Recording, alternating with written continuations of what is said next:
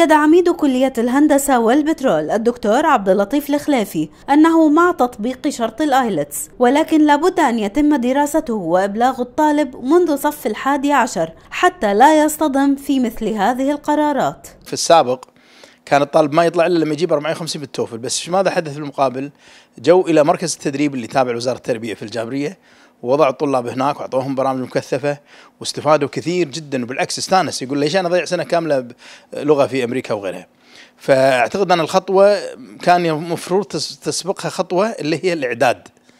أنا كولي أمر آه، طبعا حتما راح يأثر علي لما أشوف ولدي باللحظة الأخيرة يقبل آه، للبعثات ثم افاجئ بان آه، شرط اللغة طيب ليش ما بلغت من أول؟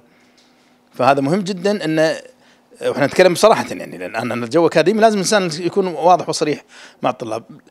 الهدف نبيل وسامي هذا أبناء الطلبة أثمن ما لدينا هم أبنائنا ما نبيهم يروحون هناك اللغة ويضيعون.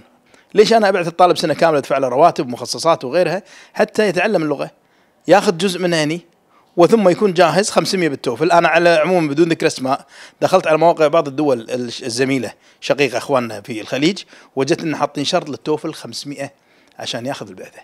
لكن أعتقد أن سبق ذلك تخطيط سبق ذلك إحاطة ولي الأمر والطالب بهذا الموضوع.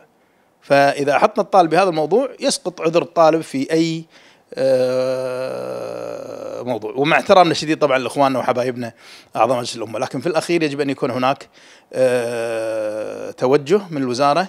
أنا بطرح برامج لغة إنجليزية للطلاب حتى يساعد الطالب في الإعداد للبرامج القدرات في جامعة الكويت. وبالتالي أنا مع آه، فتح المجال لطلاب السنة 11 و12 تعطيه سنتين لغة. إذا اجتاز 11 ممتاز شاطر.